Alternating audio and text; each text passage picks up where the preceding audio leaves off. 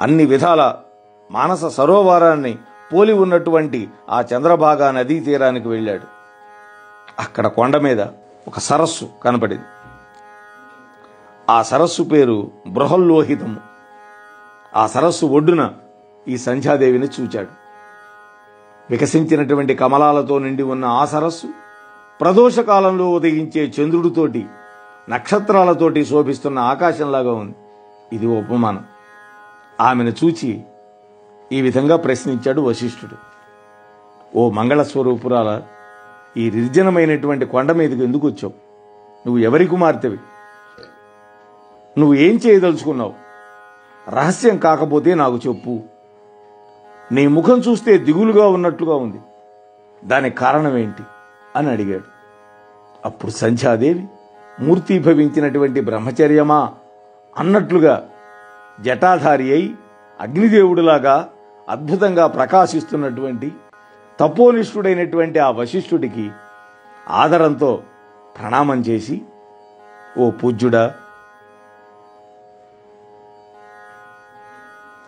నేను ఏ ప్రయోజనాన్ని కోరుకొని ఈ తపోవనానికి వచ్చానో అది మీ యొక్క దర్శన భాగ్యం వల్ల నెరవేరినట్లే భావిస్తున్నాను.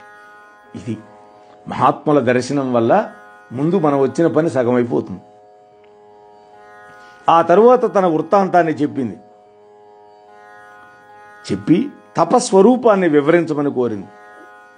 అప్పుడు బ్రహ్మవేత్త అయినటువంటి ఆ వశిష్ఠుడు ఆమె దీక్షకి మనస్సులో సంతోషపడ్డాడు. ఆయన కూడా మనస్సులో శంకరుని స్మరించాడు. ఈ విధంగా ఉపదేశించాడు. హే భద్ర ఎవరు తేజోమూర్తుల్లోకెల్లా గొప్ప తేజోమూర్తియో? ఎవరు తపోధనుడో? ఎవరు పూజ్యుడో?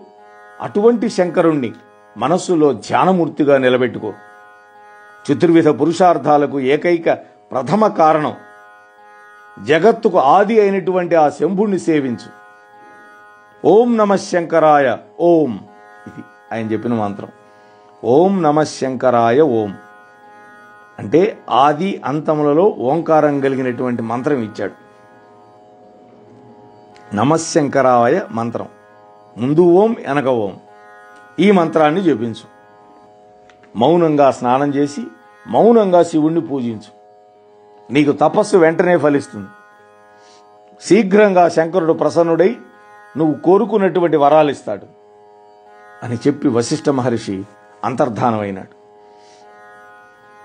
సంచ ఏ విధంగా తపస్సు చేసిందో చెప్తున్నాడు. సూతుల వారు ఓ మునులారా ఆ వశిష్ఠ మహర్షి యొక్క మాటలు విని సంధ్యాదేవి యోగ్యమైనటువంటి వస్త్రధారణ చేసి సరోవర తీరంలో తపశ్చర్యకు పూనుకుంది. మనస్సుని అన్యథా ఎత్తం కాకుండా ఏకాగ్రమైన మనస్సుతోటి ఆమె తపస్సు చేస్తూ ఉండగా ఒక మహాయుగ కాలం గడిచిపోయింది. మహాయుగం అంటే నాలుగు యుగాలు కలిగిందని మహాయుగం అంటారు. నలభై మూడు లక్షల ఇరవై వేల సంవత్సరాలు ఒక మహాయుగం అంటే. అంటే కృతయుగము త్రేతాయుగము ద్వాపర యుగము కలియుగం. ఈ నాలుగు యుగాలు కలిపితే మహాయుగం. ఆమె యొక్క ఉగ్ర తపస్సుకు ప్రసన్నుడైనటువంటి పరమేశ్వరుడు ఆమె ఏ రూపాన్ని ధ్యానం చేసిందో ఆ రూపంతోనే ప్రత్యక్షమైనాడు. ప్రసన్న వదనుడు శాంతుడు అయినటువంటి ఆ శంకరుణ్ణి చూచి సంతత ధారాపాతంగా కన్నుల నుండి అశ్రుధారలు ఒలికించి కించిత్ ఆశ్చర్యాన్ని భయాన్ని పొంది సంధ్య నేనేం మాట్లాడాలి ఇప్పుడు? నేను ఎలా స్తుతించాలి? అని మనస్సులో చింతించి కళ్ళు మూసుకుంది. అప్పుడు ఆమె హృదయంలో ఆ ఈశ్వరుడు హరుడు ప్రవేశించి ఆమెకు దివ్య జ్ఞానాన్ని దివ్య వాక్కును దివ్య నేత్రాలను అనుగ్రహించాడు అప్పుడు ఆమె వేద సమంచితమైనటువంటి వాక్కులతోటి ఆ ఈశ్వరుని స్తోత్రం చేసింది. మునులారా ఆనాడు సంధ్య చేసినటువంటి ఈ స్థుతి మహామహిమోపేతమైనది పరమ పవిత్రమైనది శుభకరమైనది అని అంటూ ఆ సంధ్యాదేవి యొక్క స్థుతి వినిపిస్తున్నాడు. మీరు కూడా శ్రద్ధాళువులై వినండి. నిరాకారం జ్ఞానగమ్యం పరం ఎన్నైవ స్థూలం నాపి సూక్ష్మం నచోచ్యం అంతశ్చింత్యం యోగిభిస్తస్య రూపం తస్మై తుభ్యం లోకకర్త్రే నమోస్తు సర్వం శాంతం నిర్మలం నిర్వికారం జ్ఞానగమ్యం స్వప్రకాశే వికారం. ఖాద్యప్రఖ్యం ధ్యాంతమార్గాత్ పరస్తాత్ రూపం. యస్య త్వాం నమామి ప్రసన్నం. ఏకం శుద్ధం దీప్యమానం. తథా జం చిదానందం సహజం. చావికారి నిత్యానందం సత్యభూతి ప్రసన్నం యస్య శ్రీదం రూపమస్మై నమస్తే. గగనం భూర్దిశశ్చైవ సలిలం జ్యోతిరేవ చ పునః కాలశ్చ రూపాణి యస్య తుభ్యం నమోస్తుతే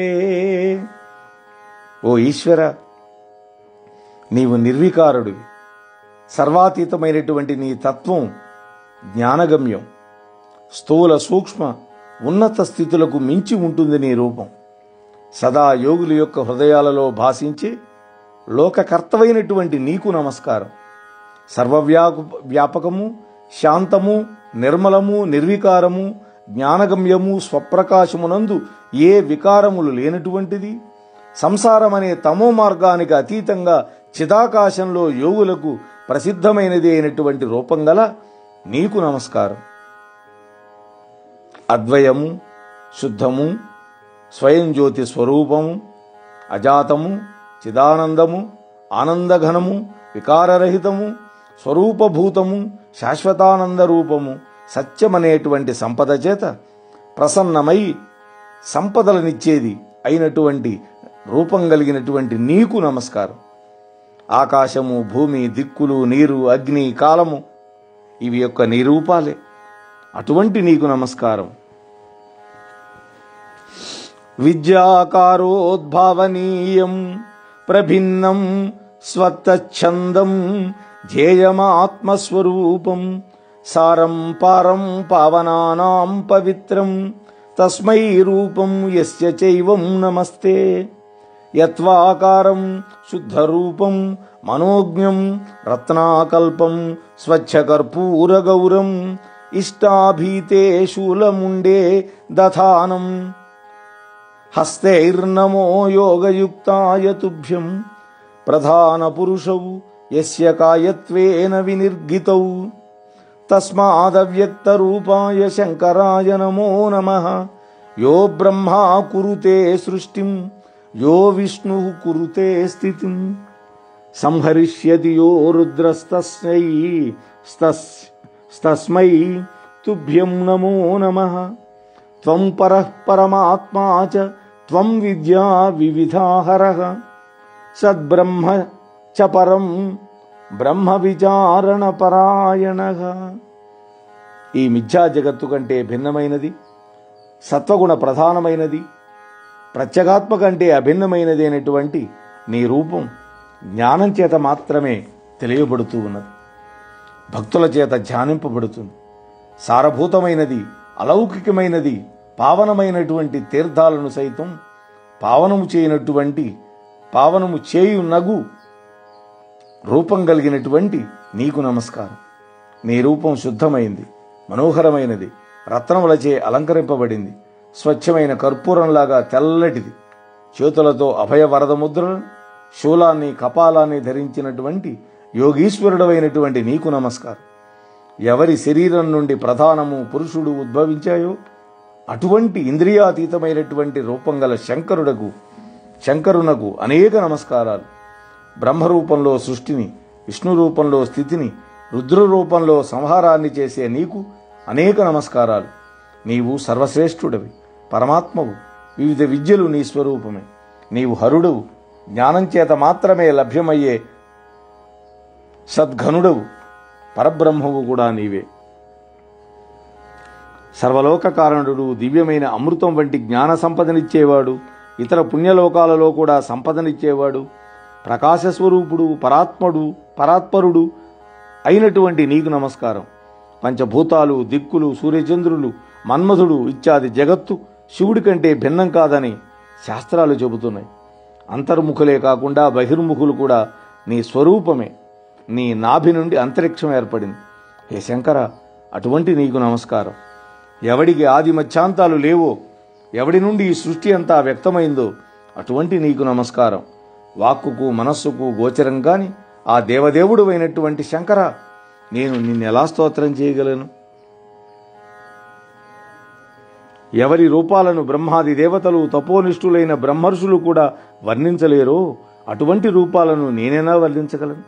హే ప్రభు ఎవని రూపాన్ని ఇంద్రాది దేవతలు రాక్షసులు కూడా తెలియలేరో అటువంటి నిర్గుణమైనటువంటి నిన్ను స్త్రీనైనటువంటి నేనెట్లా తెలియగలుగుతాను? అని సంధ్యాదేవి అంటోంది. ఓ మహేశ్వర నీకు నమస్కారం. ఓ తపోమయ నీకు నమస్కారం. నా మీద దయ చూపించు. హే దేవదేవ నీకు అనంత కోటి నమస్కారాలు. ఈ విధంగా అర్ధగాంభీర్యం కలిగినటువంటి వాక్కులతో ఆ సంధ్యాదేవి చేసినటువంటి ఈ స్తోత్రాన్ని విని శంకరుడు పరమానందభరితుడైనాడు. జడలు గట్టిన కేశపాశంతో నారచీరని లేడి చర్మాన్ని ధరించి మంచు దెబ్బకు వాడిపోయిన పద్మం లాంటి ముఖంతో మూర్తిభవించినటువంటి తపస్వినిలా ఉన్న ఆమెను చూసి అపార కృపారసం వెల్లివిరిసింది శంకరుడిలో. అప్పుడు ఈశ్వరుడు అంటున్నాడు హే భద్రి నీ తపస్సు చేత స్తోత్రం వల్ల కూడా నేను సంప్రీతుండయ్యాను ఓ శుభకరమైనటువంటి బుద్ధి కలిగిన దాన నీ ఇష్టమైన వరాన్ని కోరుకో. నీ మనస్సులో ఉన్నటువంటి కార్యసిద్ధిని నేను కలిగిస్తాను. నీకు మంగళమొగ్గుగాక అన్నాడు. శంకరుడి యొక్క మాటలు పరమానంద భరితురాలైంది ఆ తల్లి సంచ. పారవశ్యంతో అనేక ప్రణామాలను చేసింది. ఓ మహాదేవ నేను నీకు నీ యొక్క వరానుగ్రహానికి యోగ్యురాలనైతే నా పాపం నుండి పరిశుద్ధురాలనైతే ఈ జగత్తులో సమస్త ప్రాణులు పుట్టుకతోడనే కామం కలివిగా కాకుండా పుట్టాలి అని కోరుకున్నది. ఈశ్వరుని కూడా అదే వరం కోరింది. పుట్టిన వెంటనే కామం ఉండకూడదని మన కోసం కోరుకుందా తల్లి? చూడండి. అంటే నా పాపాలు పోతే అన్నది. పాపం ఉంటే పరమేశ్వరుడు వస్తాడా? ఈ వృత్తాంతం లోక ప్రసిద్ధి పొంది నేను అపకీర్తిని పొందకుండా ఉండాలి. ఇది నా మొట్టమొదటి వరం. ఏ వ్యక్తిపైన కామంతో కూడినటువంటి నా చూపు పడకుండా ఉండాలి. హే నాథ నన్ను సతిగా ప్రాణిగ్రహణం చేయబోయే పురుషుడు సహృదుడై సహృదయుడై నాకు మంచి స్నేహితుడై ఉండాలి. నన్ను కామంతో చూచే వ్యక్తి యొక్క పురుషత్వం నశించి వాడు నపుంసకుడుగా అయిపోవాలి. ఇది నా రెండో వరం అన్నది. పరిశుద్ధమైనటువంటి అంతఃకరణతో లోకము యొక్క హితాన్ని కోరి సంధ్యాదేవి ప్రార్థించినటువంటి అడిగినటువంటి రెండు వరాలని అనుగ్రహించి శివుడు ఈ విధంగా అంటున్నాడు. ఓ పతివ్రత శిరోమణి ఓ మంగళాంగి విను తపస్సు చేత నువ్వు పరిశుద్ధురాలమైనవు నీ పాపం భస్మీభూతమైంది. నీ మీద కోపాన్ని విడిచిపెట్టేశాను. ఆ పైన మానవులు శైశవం కౌమారం యవ్వనం వార్ధక్యం అనేటువంటి నాలుగు దశలను క్రమంగా పొందుతారు. ఆ సంధ్యాదేవి అడిగినటువంటి వరం వల్లనే మనకు నాలుగు దశలు వచ్చినాయి. మొట్టమొదటిది శైశవం అంటే బాల్యం కౌమారం యవ్వనానికి ముందు దశ ఆ తరువాత యవ్వనం చివరిది వార్ధక్యం. కౌమారావస్థ అంతంలో యవన ప్రాదుర్భావంలో మాత్రమే కామభావన కలిగి ఉంటారు మానవులు. ఈ పైన ప్రాణులు పుట్టుకతోడనే కామవంచ కలిగిన వాళ్ళు కాకుండా ఉంటారు. ఓ శుభాంగి మూడు లోకాల్లో ఇతర స్త్రీలకు ఎవ్వరికీ లేనటువంటి పాతివృత్య భావాన్ని నువ్వు పొందగలిగావు. నీ భర్త తప్ప ఇతరులు నిన్ను కామంతో చూస్తే అటువంటి వాడు నువ్వు కోరినట్లే నపుంసకుడైపోతాడు. దుర్బలుడైపోతాడు. మహాత్ముడు తపస్యాలి రూపవంతుడైనటువంటి సత్పురుషుడు నీకు భర్త అవుతాడు అతడితో కూడి మీరిద్దరూ అన్యోన్యంగా ఏడు కల్పాంతాల వరకు ఉంటారు. ఓ పరిశుద్ధులారా ఓ పరిశుద్ధమైనటువంటి మనస్సు కలిగిన దాన నీవు తపస్సు ప్రారంభించి ఇప్పటికి ఒక మహాయుగం గడిచింది. కృతయుగం అంతరించి ఇప్పుడు మళ్ళీ త్రేతాయుగం నడుస్తోంది. నీ పూర్వజన్మలో ఈ శరీరాన్ని అగ్నికి ఆహుతి చేస్తానని నువ్వు ప్రతిజ్ఞ చేశావు. అది నెరవేరే ఉపాయం నీకు చెబుతాను విను. ఇప్పుడు నడుస్తున్నటువంటి త్రేతాయుగంలో మొదటి పాదంలో దక్ష ప్రజాపతికి అనేక మంది కూతురులు పుట్టారు. వాళ్ళందరూ కూడా మితభాషిణులు శీల సంపన్నులు. వాళ్ళందరికీ దక్షుడు యథోచితంగా వివాహం చేశాడు. అందులో ఇరవై ఏడు మందిని చంద్రదేవుడికిచ్చి పెళ్ళి చేశాడు. చంద్రుడు తన భార్యలను పరిత్యజించి మిగిలిన వాళ్ళని రోహిణి ఎందు మాత్రమే ప్రీతి మానసుడైనాడు ఆ కారణంగా దక్షుడు కోపించి చంద్రుణ్ణి శపించాడు. అప్పుడు దేవతలందరూ కూడా నీ ఉన్న చోటుకు వచ్చారు. కానీ నా మీద లగ్నమైనటువంటి మనస్సు కలిగినటువంటి నువ్వు వాళ్ళెవ్వరినీ గమనించల. బ్రహ్మదేవుడు కూడా వచ్చాడు. ఆకాశం వైపు చూచి చంద్రుడి యొక్క పూర్వ రూపాన్ని ఎలా పొందుతాడా అని ఆలోచించి చంద్రుడి యొక్క శాప విముక్తి కోసం ఈ చంద్రభాగా నదిని సృష్టించాడు. అదే సమయంలో మహాస తపస్సంపన్నుడైనటువంటి మేధాతిథిని కూడా వచ్చాడు అక్కడికి. ఆయన పన్నెండు సంవత్సరాలు అతి విస్తృతమైనటువంటి జ్యోతిష్ఠోమము అనేటువంటి ఒక యజ్ఞాన్ని ప్రారంభం చేశాడు. అది ఇప్పుడు కొనసాగుతోంది. ఆ యాగాగ్ని మహాప్రకాశమానంగా వెలుగుతోంది. నువ్వు వెంటనే అక్కడికి వెళ్ళు. పవిత్రురాలమైనటువంటి నీవు నీ దేహాన్ని ఆ ప్రజ్వరిస్తున్నటువంటి అగ్నిలో విడిచిపెట్టు. నా అనుగ్రహం చేత నీవు అన్యులకు కనపడవు. ఈ విధంగా శంకరుడు ఆమెకి హితబోధ చేసి అంతర్ధానం అయిపోయినాడు. ఆ తర్వాత అరుంధతి వృత్తాంతం. శంకరుడి యొక్క వచనానుసారంగా సంధ్యాదేవి ఆ మేధాతిథి యొక్క యజ్ఞశాలకు వెళ్ళింది. తనకు గతంలో తపశ్చర్య విధానాన్ని బ్రహ్మచారి రూపంలో వచ్చి ఉపదేశించినటువంటి బ్రహ్మమానసపుత్రుడైన వశిష్ఠ మహర్షిని మనస్సులోనే భర్తగా స్వీకరించింది. ఈశ్వరుడి యొక్క వరప్రభావం వల్ల అన్యుల యొక్క దృష్టికి గోచరం కాకుండా ఆ యజ్ఞ ప్రజ్వలితాగ్ని యందు ఆనందంతో ప్రవేశించింది. పురూడాశ రూపంలో తక్షణం దగ్ధమైపోయింది. వెంటనే ఆమె శరీరం నుంచి దగ్ధమవుతున్న శరీరం నుంచి మంచి సువాసన సర్వత్రా వ్యాపించినా ఆ గంధము యొక్క హేతువు ఎవరికా తెలియలే. ఎందుకు ఇటువంటి వాసన వచ్చింది అని? ఎందుకని? ఎవరికి కనపడని స్థితిలో ఉంటావని వరం ఇచ్చాడుగా శివుడు. ఎవరికి కనపడకుండానే ఆమె యా- యాగాగ్నిలో దూకింది. శివుడి యొక్క ఆజ్ఞేత అగ్ని ఆమె శరీరాన్ని దహించి శుద్ధమైనటువంటి సూక్ష్మ శరీరాన్ని సూర్యమండలం ముందు ప్రవేశపెట్టాడు. సూర్యుడు ఆమె శరీరాన్ని రెండుగా విభజించాడు. పితృదేవతలకి దేవతలకి ప్రీతిని కలిగించే నిమిత్తం తన రథంలో శాశ్వతంగా స్థాపించాడు ఆ రెండు రూపాలని. ఓ మహర్షులారా ఆ సంధ్యాదేవి యొక్క ఊర్ధ్వ భాగం రాత్రి పగలు మధ్య ప్రాతసంధ్య అయింది. అంటే ఉదయ సంధ్య. ఈ ఉదయ సంధ్యా దేవత అత్యంత ప్రీతికరం. మిగిలిన భాగం రెండో భాగం ఉందే అది రాత్రికి పగలకి మధ్య సాయం సంధ్యది ఇది పితృదేవతలకు ప్రీతి కలిగిస్తుంది. అప్పుడు దయాళువైనటువంటి శంకరుడు సంధ్య యొక్క ప్రాణాలను మనస్సుతో కలిపి సూక్ష్మ శరీరం నిర్మాణం చేశాడు. ఈశ్వరుడు ఆ సూక్ష్మ శరీరంతో ఒక అందమైనటువంటి బాలికని యజ్ఞ వేదిక నుండి సృష్టించాడు. యజ్ఞం పరిసమాప్తం కాగానే ఆ యజ్ఞ వేదిక మధ్యంలో మంచి పుటం పెట్టినటువంటి బంగారపు కాంతితోటి దేదీప్యమానంగా వెలిగిపోతూ ఉన్న బాలికని ఆ మేధాతిథి మహర్షుల యొక్క ఆమోదంతో ఆనందంగా కుమార్తెగా స్వీకరించి స్నానం చేయించి తన ఒడిలో కూర్చోబెట్టుకుని లాలించాడు. అప్పుడే ఆమె మేధాతిథి యొక్క కుమార్తె అయింది.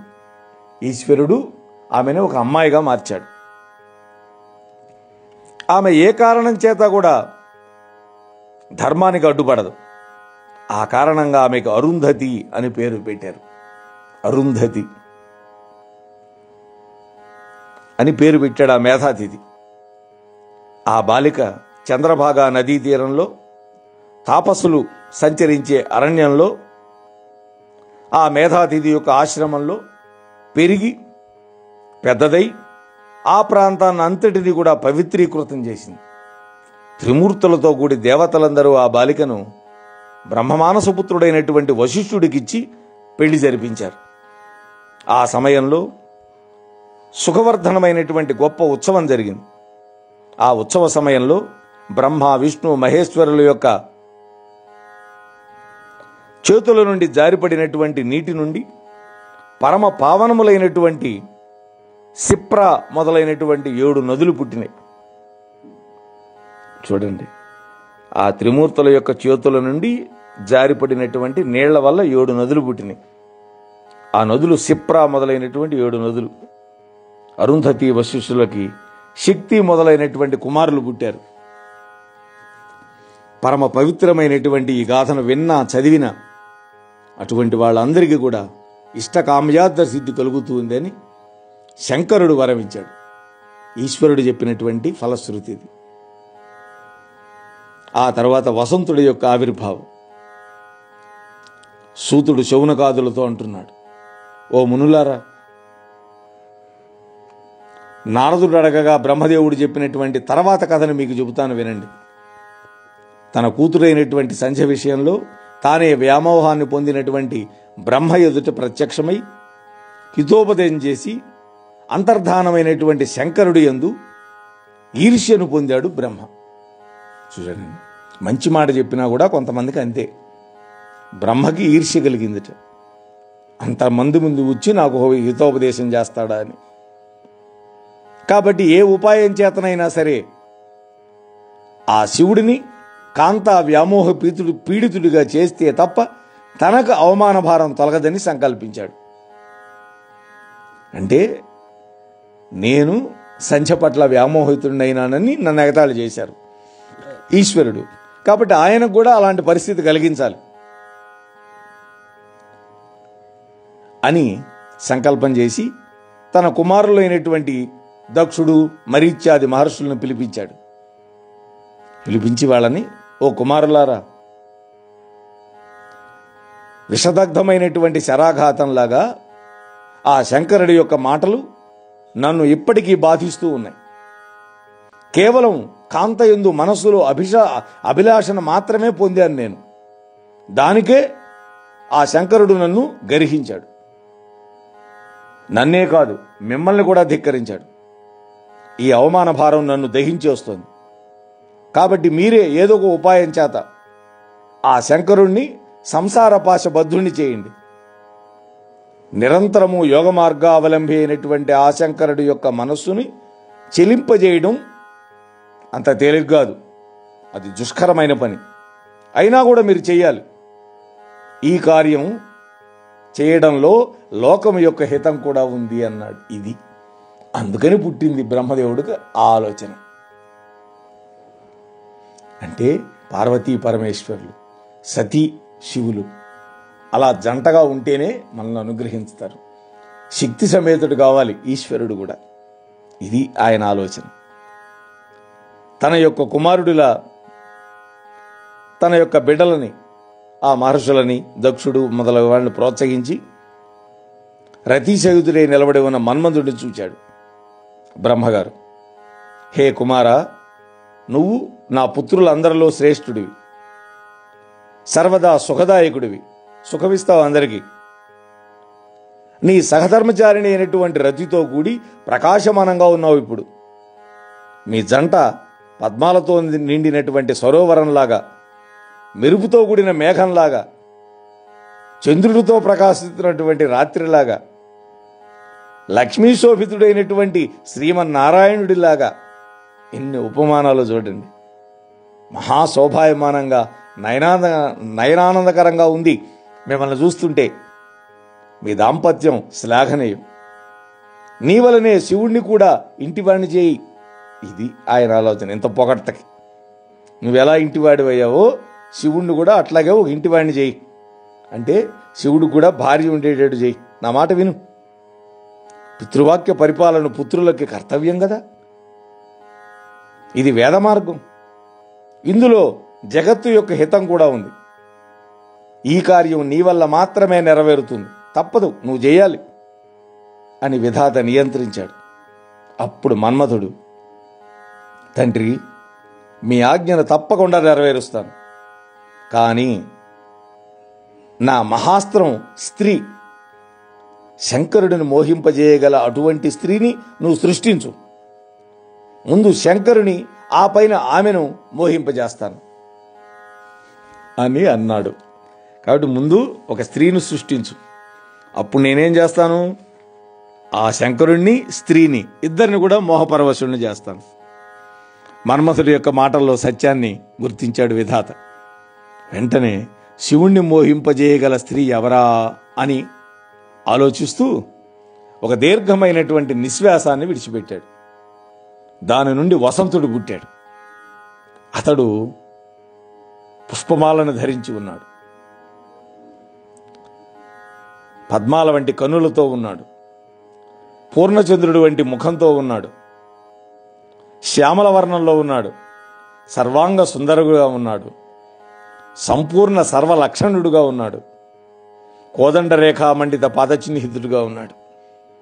అంటే ఆయన పాదాలలో ధనస్సు రేఖలుగా ఉన్నాయి. ఆ కుసుమాకరుడైనటువంటి వసంతుడు పుట్టగానే సుగంధబంధురమైనటువంటి మలయానిలం మందం మందంగా వీచింది మెల్లిగా వీచింది. చెట్లన్నీ కూడా పూలతోటి నిండిపోయినాయి. కోయిలలు పంచమస్వరంతో కలకంఠాలు కూసినాయి. నిర్మల జలపూరితమైనటువంటి సరోవరాలన్నీ కూడా వికసించినటువంటి పద్మాలతో శోభాయమానంగా ఉన్నాయి. అటువంటి వసంత ప్రాదుర్భావంతో సకల లోకాలు కూడా ఆహ్లాదభరితమైనవి. లోకోత్తముడైనటువంటి ఆ వసంతుణ్ణి చూసి సంతోషపడినటువంటి పితామహుడు మన్మథుడితో అంటున్నాడు ఓ మన్మథ నీతో సమానమైనటువంటి వాడు ఇతడు. నీకు సహచరుడుగా ఉంటాడు. అలాగే నీకు అనుకూలంగా నీ కార్యాలన్నీ కూడా నెరవేరుస్తాడు. అగ్నికి వాయువులాగా నీకు ఇతడు ఉపకరిస్తాడు. ప్రసన్నంగా ఉన్నవాళ్ళ మనస్సుల్లో స్త్రీల విషయమై కామవాంఛను కలిగిస్తాడు కాబట్టి ఈ పైనుండి నువ్వెప్పుడు ఇతని ఎందే ఉంటావు కాబట్టి ఇతడికి వసంతుడు అనేటువంటి నామధేయాన్ని ఉంచాను. మలయపవనుడు ఈ వసంతుడికి సహాయుడుగా ఉంటాడు. అంతేకాదు భావము హావము హేళ మాధుర్యము ధైర్యము లీల విలాసము విచ్చిత్తి విభ్రమము కిలికించితము మెట్టాయితము కుట్టమితము బిబ్బోకము లలితము కుతూహలము చకితము వికృతము హాసము అనేటువంటి పద్దెనిమిది శృంగార చేష్టలు నీకు ఇక మీదట సహకరిస్తాయి. వీటన్నిటి వల్లనే ఆ ఆడవాళ్ళు మగవాళ్ళు ఆ- ఆ శృంగార చేష్టితాలు చేయటం వల్ల మగవాడో లేక ఆడదో లోబడతారు. కుమార వీటికి తోడుగా కర్మాశ్రయాలైనటువంటి కళలు ఇరవై నాలుగు. జూతాశ్రయాలైనటువంటి కళలు ఇరవై. జూతం అంటే తెలుసుగా మీ అందరికీ. శయనోపచారికములైనటువంటి కళలు పదహారు. ఉత్తర కళలు నాలుగు. మొత్తం అరవై నాలుగు కళలు నీకు సహాయంగా ఉంటాయి. వీళ్ళు నీకు స్నేహితులైనట్లే రతికి కూడా ఇష్టలుగా ఉంటారు. వీళ్ళందరి సహకారంతో నేను చెప్పినటువంటి గొప్ప కార్యాన్ని మహోత్సాహంతో నువ్వు సిద్ధింపజేయాలి. ఆ శంకరుణ్ణి మోహింపజేయగల సుందరాంగిని మనస్సులో పరిపూర్ణంగా భావన చేసి ప్రయత్నపూర్వకంగా నేను సృష్టిస్తా అన్నాడు బ్రహ్మ. బ్రహ్మదేవుడి యొక్క మాటలకు సంప్రీతుడైనటువంటి ఆ మన్మధుడు అక్కడున్న వాళ్ళందరి పాదపద్మాలకు నమస్కారం చేశాడు. వాళ్ళందరి ఆశీర్వచనాలు పొందాడు. అప్పుడు శివస్థానానికి ప్రయాణమైనాడు. ఆ తర్వాత ఆ మారణ గణాల యొక్క పుట్టుక. మహావీరుడు మోహకారకుడైనటువంటి ఆ మన్మధుడు తన యొక్క అనుచరగణంతో శివస్థానానికి వెళ్ళగానే అక్కడ ఒక చిత్రమైనటువంటి వృత్తాంతం జరిగింది. చెబుతాను వినండి. ఆ మన్మధుడు తన ప్రభావాన్ని విస్తరింపజేసి సకల ప్రాణులను మోహపెట్టాడు.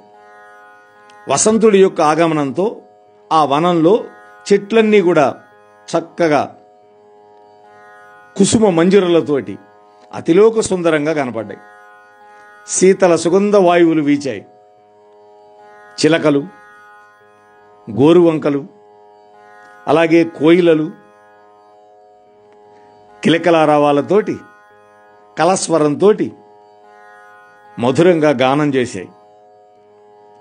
ఆ పూల నుండి వచ్చినటువంటి ఆ పరాగం అంటే పుప్పొడి రాసులు రాసులుగా ఇసుక తిన్నెల్లాగా నిలబడ్డాయి.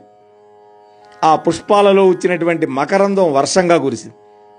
వెన్నెల విరిసింది. చక్రవాక పక్షుల జంటలు దాంపత్య ధర్మ క్రీడా వినోదంగా మురిసిపోతున్నాయి. మయూర మిథునాలు శృంగార రసోద్రేక హేతువులైనవి. చిత్రగతులలో నర్తనం చేస్తున్నాయి ఆ మయూరాలు. ఆ లతా పరివేష్టితాలైనటువంటి ఆ భూమి మీద ఉన్నటువంటి చెట్లన్నీ కూడా పరస్పర ఆలింగన సౌభాగ్యంతో పులకించిపోతున్నాయి. ఆహా ఏమా దృశ్యం. చేతనము అచేతనమైనటువంటి జగత్తంతా కూడా శృంగారపు పొంగులో ఆకాశాన్ని అంటింది. సర్వము కామతంత్ర పరాధీనమైపోయింది. అయినా కూడా మహాదేవుడు సర్వజ్ఞుడైనటువంటి శివుడిలో ఆయన యొక్క గణాలలో ఎటువంటి మన్మథ వికారం పుట్టల. కానీ మన్మధుడు తన పట్టిన పట్టు విడిచిపెట్టల. ఆయన సమాధి స్థితిలో ఉన్నప్పుడు లేనప్పుడు లేదా హిమవత్ పర్వత ప్రాంతంలో మైదానాలలో సంచరిస్తున్నప్పుడు ఎక్కడున్నా కూడా మదనుడు అదను చూచి వెంబడించి శివుడి మీద తన యొక్క ప్రభావాన్ని ప్రకటిస్తూనే ఉన్నాడు. తన ప్రయత్నాలన్నీ నిష్ఫలమైపోయినాయి. అప్పుడు ఖిన్నుడైపోయినాడు. తండ్రి దగ్గరికి వెళ్ళాడు. గద్గద స్వరంతో హే బ్రహ్మన్ తండ్రి యోగనిష్ఠుడైనటువంటి శంభుణ్ణి మోహింపజేయటం అసాధ్యం. నేనే కాదు లోకంలో ఎవడి వల్ల కాదు. ఆ త్రినేత్రుడు ఆ జటాజూటధారి ఆ కాలకంఠుడు ఆ శివుడు. ఆయన ముందు నిలబగలిగిన వాడు ఎవడూ లేడు. ఆయన ముందు ఎవడూ నిలబడలేడు. వీరాధి వీరుడైనటువంటి ఆ పుష్ప బాణ హస్తుడి యొక్క మన్మథుడి యొక్క బేలతనంతో ఉన్న మాటలు విని బ్రహ్మ యొక్క మనస్సు దుఃఖంతో నిండిపోయింది. దీర్ఘంగా ఒక నుట్టీర్పు విడిచాడు. ఆ నిశ్వాస మారుతం నుండి అసంఖ్యాకంగా మహాబలవంతులు భయంకరులు చెంచలలు అయినటువంటి కొన్ని గణాలు పుట్టుకొచ్చినాయి. వాళ్ళందరూ లేత మావిడి చిగురుల వలె నాలుకలు వ్రేలాడగా భేరి పటాహ ఇత్యాది భయంకరమైన వాద్యాలు మోగిస్తూ చంపండి నరకండి అంటూ అరుస్తున్నారు. అప్పుడు మన్మథుడు వాళ్ళందరినీ వారించి బ్రహ్మదేవుడితో ఇలా అన్నాడు ఓ విధాత వీళ్ళందరినీ సృష్టించిన వాడువు నీవే. వీళ్ళందరికీ నామకరణం చేసి వీళ్ళకి నివాస స్థానాన్ని ఏర్పాటు చేసి వాళ్ళ యొక్క కర్తవ్యాన్ని బోధించి వాళ్ళని వాళ్ళ యొక్క పనుల్లో వినియోగించండి అని అడిగాడు. అప్పుడు మన్మథుడి యొక్క ఆంతర్యాన్ని గ్రహించినటువంటి బ్రహ్మదేవుడు ఓ మన్మథ వీళ్ళందరూ పుడుతూనే చంపుడు అని అరిచారు కదా. అందుకని వీళ్ళందరి కూడా మారయా అంటే సంస్కృతంలో చంపండి అని. వీళ్ళందరూ కూడా మారులు అని పిలువబడతారు. నిన్ను అనుసరించి నువ్వు చెప్పిన పనల్లా చేస్తారు. నీ యొక్క పుష్ప బాణాలకు వశమైన మానవులకి చిత్త భ్రాంతిని కలిగిస్తారు వీళ్ళంతా. జ్ఞాన మార్గంలో ఉన్న వాళ్ళకి విఘ్నాలు కలిగిస్తారు. వీళ్ళందరినీ మారగణాలు అంటారు. అంటే మారుడు యొక్క గణాలు. మారుడు అంటే మన్మథుడు. వీళ్ళ సహాయంతో నువ్వు శివుణ్ణి మోహింపజేయి అన్నాడు. బ్రహ్మ చెప్పిన మాటలకి మన్మధుడిలో కొంత ధైర్యం వచ్చింది. ముఖంలో ప్రసన్నత కనిపించింది. అయినా కూడా గతానుభవం దృష్ట్యా నిశ్చయంగా కార్యసిద్ధి అవుతుందని నమ్మకం అయితే కలగల. పైగా ఆ ముక్కంటి అయినటువంటి శంకరుడు తన భయంకరమైనటువంటి ఆ ఫాలాగ్ని కీలలతోటి భస్మం చేస్తాడేమో అని భయకంపితుడైపోయాడు. కానీ ధైర్యంతో కర్తవ్యనిష్టకు పూనుకొని రతీదేవిని వసంతుణ్ణి మారగణాలని వెంట పెట్టుకొని ఆ శివుడి యొక్క ధామానికి వెళ్ళాడు. వెళ్ళి ఇంతకు ముందు కంటే బహువిధోపాయాలను ప్రయోగించాడు మన్మధుడు. కానీ శివప్రభువుకి ఎటువంటి మోహం పుట్టల. తేజోహీనమైనటువంటి ముఖంతో మళ్ళీ బ్రహ్మదేవుడి దగ్గరకు వచ్చాడు. ఓ పితామహ శివుని విషయంలో నేను పరాజయాన్ని పొందాను. నా పూర్వపుణ్య విశేషం వల్ల ఆ లోకపూజ్యుడు తన యొక్క మూడవ కంటితో నన్ను భస్మం చేయల. మీకు అంతగా పట్టుదల ఉంటే మరొక ఉపాయాన్ని అన్వేషించండి అని చెప్పి మన్మథుడు తన యొక్క నిజస్థానానికి వెళ్ళిపోయాడు. మరి ఆ తర్వాత బ్రహ్మదేవుడు ఏం చేశాడు? ఆయనకి జ్ఞానోదయం ఎలా అయింది మొదలైనటువంటి విశేషాలని ఈశ్వరానుగ్రహంతో రేపు మీతో ముచ్చడించే ప్రయత్నం చేస్తాను అని మీ అందరికీ సవినయంగా మనవి చేసుకుంటూ స్వస్తి. మోహనవాణి తెలుగు పోడ్కాస్ట్ ఛానల్ని లైక్ షేర్ సబ్స్క్రైబ్ చేయండి. ప్రక్కనున్న గంటను మ్రోగించండి.